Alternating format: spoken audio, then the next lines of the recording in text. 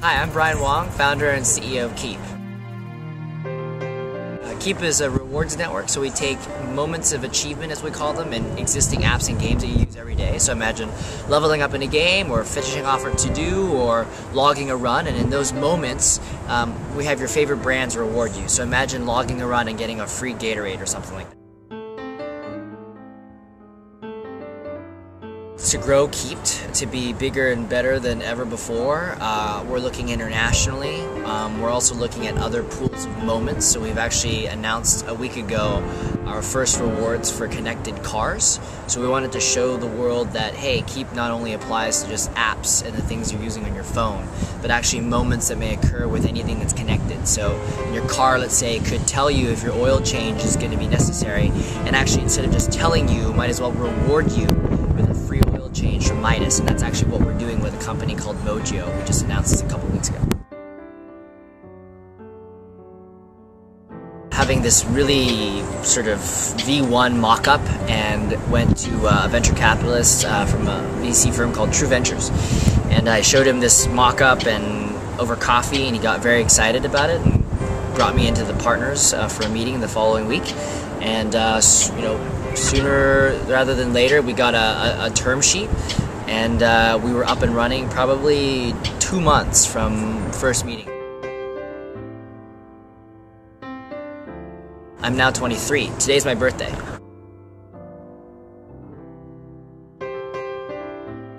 I got nothing to lose. Uh, the backstory is I actually got laid off from my job just prior, so I had just lost my full-time job in, in the May of that year, and, and went ahead and started meeting with, with VCs in, in, in July.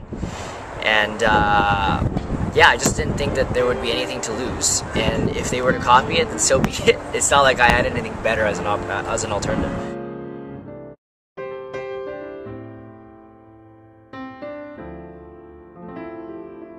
I wouldn't know. I don't have a crystal ball, but of course we'd like it to be in the billions. I think uh, I'd rather focus on the value that we'll create on the world, and I think what we're trying to do is it's got so many applications to it. Actually, sometimes ends up being one of the issues that we have is focus because I talked about the car thing.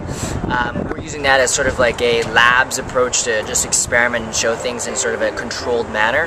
But Kiip we've seen in the last three years apply to so many categories. You've got games, fitness, food, music, productivity, and sports. It doesn't end.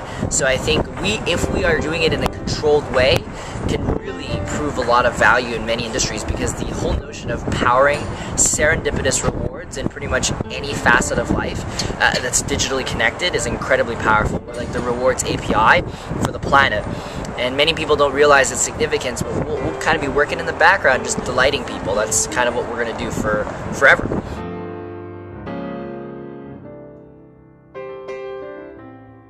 Yeah, I think there's folks that you know. I think there's this infographic that just came out recently of all the the, the, the entrepreneurs that started later. Um, like Mark Pincus started in his 30s and wanted to sort of prove to folks that you don't have to be in your teens in order to be successful as an entrepreneur to start something. So I think people like there's no rush. You can start anytime you want. For me, I happen to graduate early, so I started when I graduated. is very logical for me. Um, although I do think that yes, there may be some. If you have issues with the education system, you have the power to change it to go and, and works for you. And so that's why I think the litany of opportunities and how you can learn your way that's out there basically makes it so that you have no excuse. Especially when I talk to entrepreneurs, they're like, "Oh, I don't know coding, blah blah." Go learn it. Like it'll take you like a month. And in fact, like these, there's so many services out there. Like when I started, there were no, you know, super you know, uh, brushed up, sort of complete, thorough services online that were, were completely, you know, sort of almost like accredited in their own way. Um, that's that means that you have almost no excuse nowadays.